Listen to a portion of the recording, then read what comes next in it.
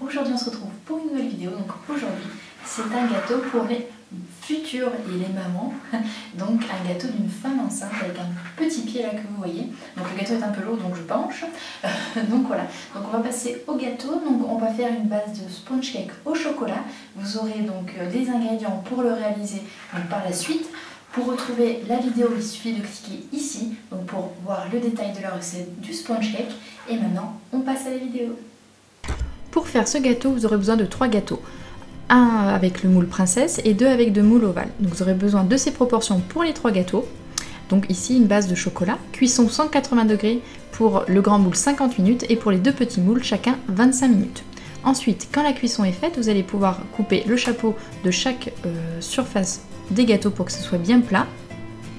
Voilà, ensuite on le retourne, on le coupe.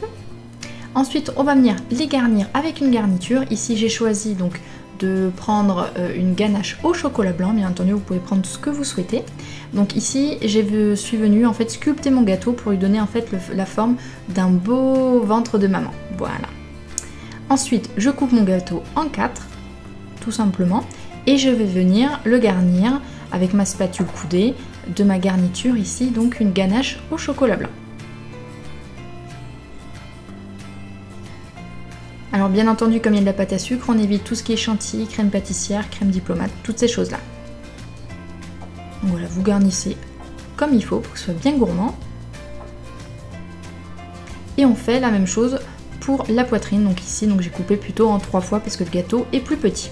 Vous allez à nouveau badigeonner votre gâteau. Donc avec la garniture chocolat blanc, vous allez superposer vos étages. Ensuite, vous allez badigeonner la surface comme le gros gâteau derrière avec une crème au beurre. Et vous allez mettre après tout ça sur un plateau. Ici, moi j'ai pris un plateau et j'ai recouvert de pâte à sucre blanche. J'ai rajouté les miettes de gâteau en surplus, donc pour faire le décolleté de notre future maman, que j'ai ensuite badigeonné avec la crème au beurre et que j'ai laissé au frais pendant une heure. Ensuite, j'ai taillé de la pâte à sucre couleur chair. Je suis venue donc faire adhérer cette pâte à sucre sur mon gâteau. Au préalable, j'ai rajouté de la gelée alimentaire pour pouvoir donc que ça colle bien sur mon gâteau. Je suis venue enlever le surplus avec un couteau.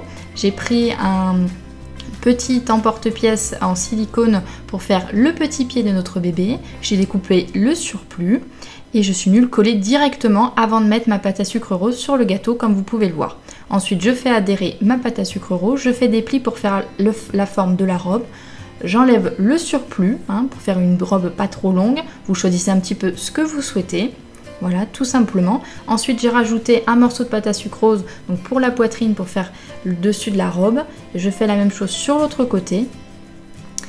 Et ensuite, donc voilà, vous ajustez avec votre petit ébauchoir là que j'utilise. Voilà, vous coupez avec votre couteau. Voilà, vous enlevez. Ensuite, vous détaillez de la pâte à sucre rose plus claire. Voilà, vous faites une jolie bande. Vous allez badigeonner avec de l'eau, donc le décolleté entre guillemets de la future maman. Et vous allez venir tout simplement coller votre jolie bande dessus. Voilà. Donc délicatement, vous allez venir la positionner et découper avec le couteau le surplus. Ensuite, donc j'ai positionné, comme vous allez pouvoir le voir, une jolie anémone rose. Donc vous allez pouvoir cliquer ici pour voir comment faire des jolies anémones. J'ai expliqué donc dans un tutoriel pour les faire.